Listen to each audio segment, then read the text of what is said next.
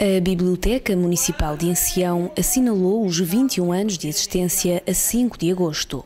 A comemoração desta data aconteceu alguns dias mais tarde com uma iniciativa inserida no programa das Festas do Conselho 2013.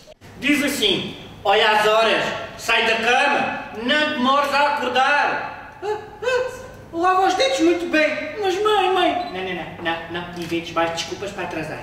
Passa o peito, Bebe o leite mais depressa. E não te esqueças também, mas mãe, mãe, de levar a papelada assinada que a professora mandou. Vai lá buscar a mochila e vê se por esta vez estão prontos os DPCs. E, e fecha bem, mas mãe, mãe, fecha bem a torneira da banheira. Olha o pingo. Mãe, hoje é domingo. Foi de uma outra biblioteca, de Beja concretamente, que veio um convidado especial. Jorge Serafim partilhou o seu trabalho de contador de histórias numa sala cheia de miúdos e graúdos em que o riso e a boa disposição reinaram. E. E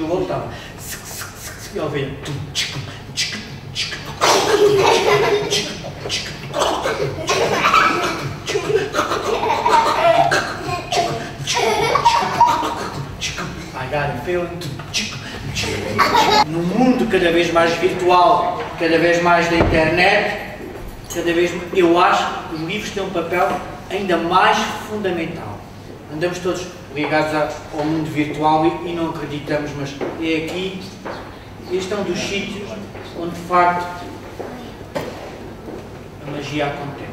Esta é a minha preferida, olha para isto, a história da fada azul. E agora, senhoras e senhores, dois bailarinos, dançarinos, onde é que está o ponto vermelho?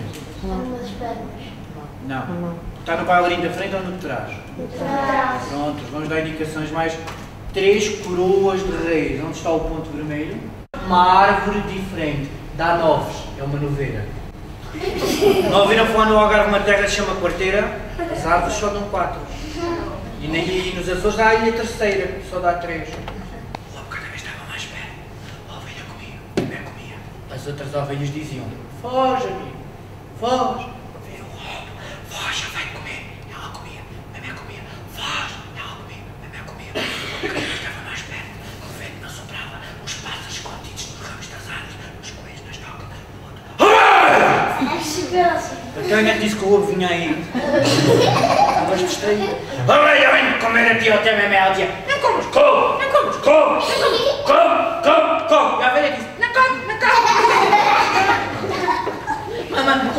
não comas. É só uma ovelha velhuça, russa, larussa. Eu tenho a carne muito dura e já não presto para comer. Será chuva? Será gente? Era o portão, certamente. Há horas que o bebê estava a fazer uma birra. Há horas que o bebê estava a fazer birra. Os pais tentaram tudo. Primeiro foi a mãe, pé ante pé. Depois foi o pai, pé ante pé. Nada! O bebê não parava. Mas é que não parava mesmo de fazer uma birra. A mãe tentou um sorriso. Oh. Era uma vez.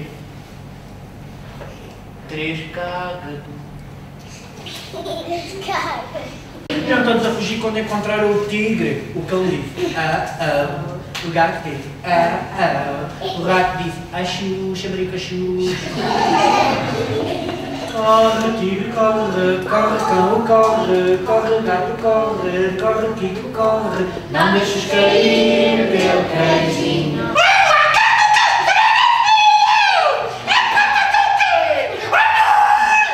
O elefante disse, ai, tia, Maria Melancia. Bem dito e louvado, um conto português já está contado. Palmas por quem tem sido.